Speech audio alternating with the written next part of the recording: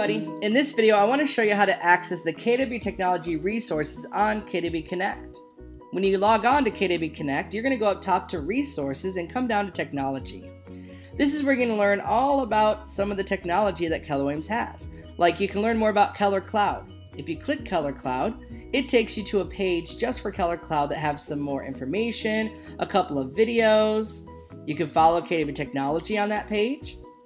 If I hit the back button, you got the CGI calculator as an option. This is where you can go to learn more about it with a great video from John Davis and some more of the resources on CGI Career Growth Initiative.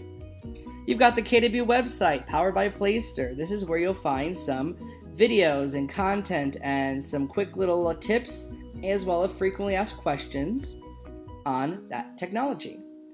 So explore the KW Technology page Look at some of these other items here. If you want to get involved with KW Technology, come to Technology Advice. And down below, you can apply to contribute if you want to be part of the product advisor groups. Those are going to be the people that actually get to beta test some of the products, like people that are beta testing the Facebook tool that's coming, KW Command. You can actually apply to be an expert if you want to become a tech, KW Technology Ambassador.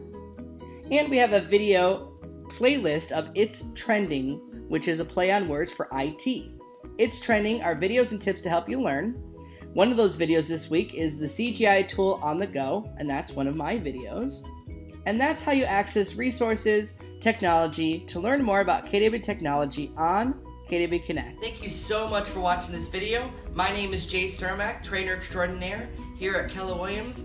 Be sure to like this video if you enjoyed it, comment below, and follow me on KW Connect today.